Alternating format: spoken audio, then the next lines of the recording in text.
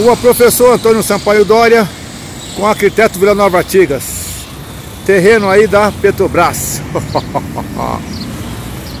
o mato cresceu, mano. Aí, ó. Hora do corte de mato da prefeitura e da Petrobras.